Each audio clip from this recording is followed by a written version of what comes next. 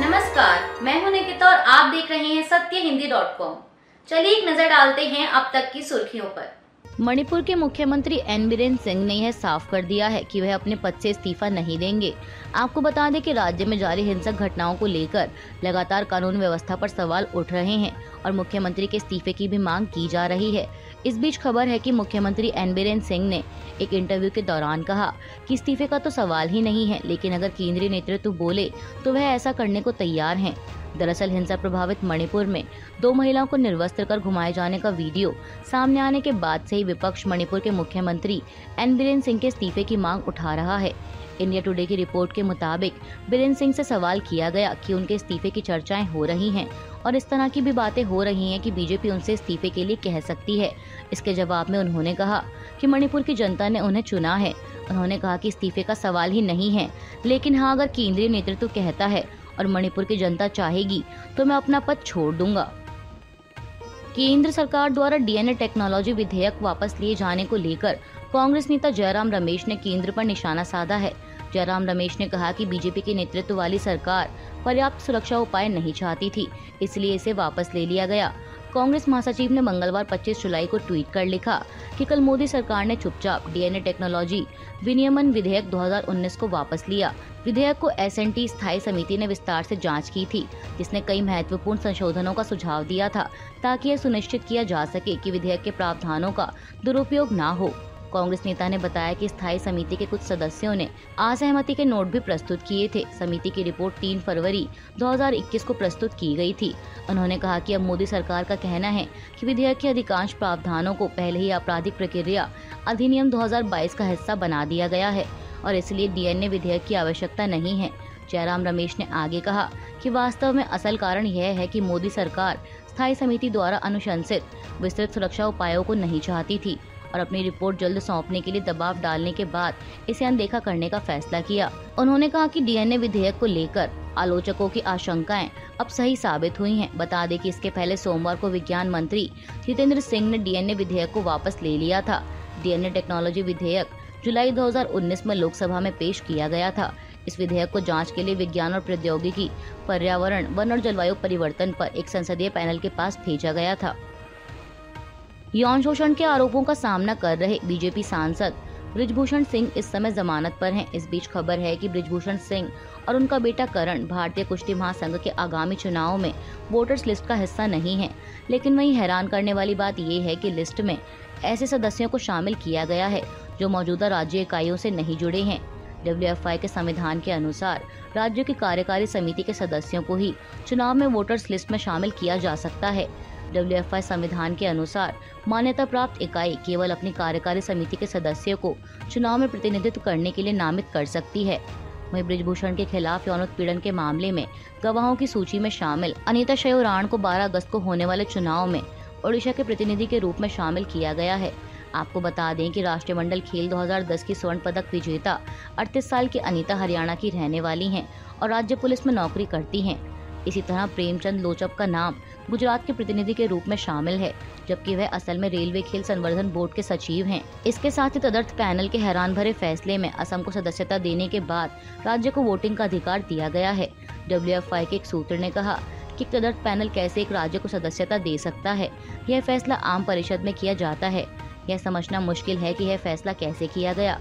सूत्र ने कहा कि यह डब्ल्यू के संविधान का स्पष्ट उल्लंघन है कि ऐसे लोगों को मतदाता सूची में नामित किया गया और स्वीकृति दी गई, जो राज्य संस्थाओं का हिस्सा नहीं है। केंद्रीय कैबिनेट ने मंगलवार को दिल्ली अध्यादेश के स्थान पर एक विधेयक लाने के प्रस्ताव को मंजूरी दे दी है। आपको बता दें कि विधेयक को संसद में रखे जाने से पहले यह महज एक औपचारिकता है। सूत्रों के अनुसार कैबिनेट की बैठक में इसे मंगलवार को मंजूरी दी गई। अब ऐसे में सरकार मानसून सत्र में ही इस बिल को संसद में पेश कर सकती है।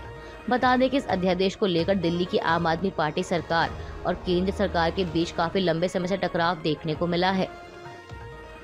देश में मानसून अपना कहर बरपा रहा है, जहाँ एक तरफ़ पहाड़ी इलाकों में बादल फटने की घटनाओं ने हिमाचल और उत्तराखंड में भारी तबाही मचाई।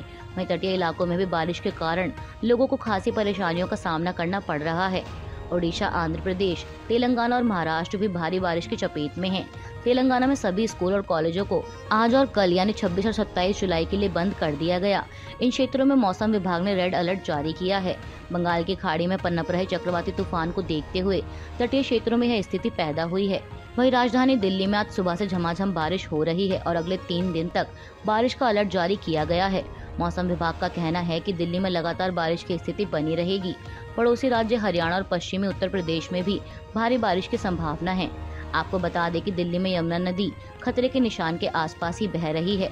अब ऐसे में पहाड़ी क्षेत्र में हो रही निरंतर बारिश के कारण आगे आने वाले दिनों में एक बार फिर राजधानी की समस्याएँ बढ़ सकती हैं।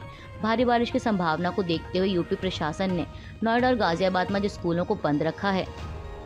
हिंसा प्रभावित मणिपुर पर चर्चा को लेकर संसद के मानसून सत्र के चौथे दिन भी गतिरोध बरकरार रहा। इस बीच खबर है कि विपक्ष की ओर से मोदी सरकार के खिलाफ लोकसभा में अविश्वास प्रस्ताव लाने की तैयारी की जा रही है। वहीं बीजेपी नेता और सांसद विपक्षी गठबंधन के नाम इंडिया को लेकर विपक्ष पर लगातार हमलावर हैं। इसी कड़ी में बीजेपी सांसद रविशंकर प्रसाद ने बीजेपी की संसदीय बैठक के बाद विपक्ष के इंडिया गठबंधन पर संसद के बाहर बोलते हुए 2024 के लोकसभा चुनाव में बीजेपी के तीसरी बार जीत की भविष्यवाणी की। रविशंकर प्रसाद ने कहा कि हमें पीएम पर गर्व है।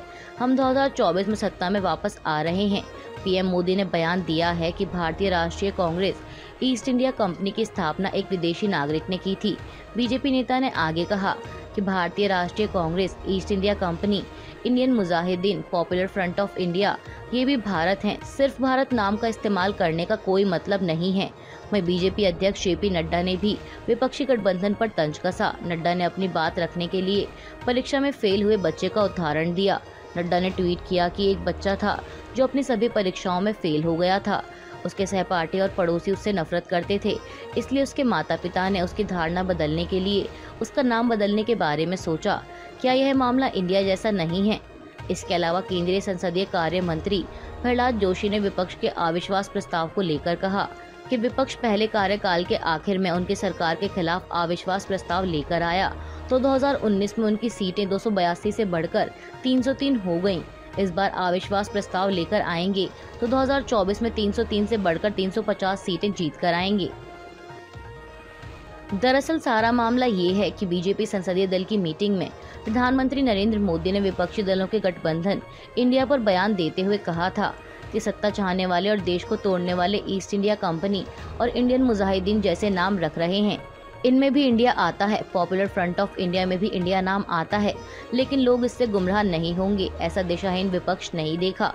मैं प्रधानमंत्री मोदी के इस बयान के बाद से ही बीजेपी और विपक्ष आमने सामने आ गए हैं, जहाँ बीजेपी विपक्षी गठबंधन के नाम इंडिया को लेकर विपक्ष पर हमलावर है। तो वहीं विपक्ष भी लगातार पलटवार कर रहा है। और इसी कड़ी में राज्यसभा में नेता प्रतिपक्ष मल्लिकार्जुन खड़गे ने पीएम मोदी के बयान पर एतराज़ जताया। उन्होंने कहा कि हम मणिपुर की बात कर रहे हैं। और प्रधानमंत्री इंडिया की तुलना ईस्ट इंडिया कंपनी से कर रहे हैं। अरे आप मणिपुर पर बात करिए ना। भारत और पाकिस्तान के बीच 15 अक्टूबर को अहमदाबाद के नरेंद्र मोदी क्रिकेट स्टेडियम में होने वाला वनडे वर्ल्ड कप का अहम मुकाबला रिशेड्यूल हो सकता है। दरअसल ये मुकाबला नवरात्रि के पहले दिन होने जा रहा है और गुजरात में इस दौरान बड़े पैमाने पर गरबा का आयोजन होता है। ऐसे में सुरक्षा एजेंसियों ने बीसीसीआई को टूर्नामेंट के शेड्यूल में बदलाव की सलाह दी है। वहीं बीसीसीआई के एक शीर्ष अधिकारी ने इंडियन एक्सप्रेस को बताया कि हम अपने पास मौजूद विकल्पों पर विचार कर रहे हैं और जल्द ही निर्णय लिया जाएगा। हमें सुरक्षा एजेंसियों ने बताया है कि भारत बनाम पाकिस्तान जैसे हाई प्रोफ़ाइल मैच जिसके लिए हज़ारों क्रिकेट फैंस के अहमदाबाद पहुँचने की उम्मीद है। इससे बचा जाना चाहिए, क्योंकि पुलिस पहले से ही नवरात्रि के सुरक्षा इंतजामों में उलझी रहेगी। अभी के लिए बस इतना ही। बाकी की खबरों के लिए बने रहिए सत्य हिंदी डॉट कॉम के साथ।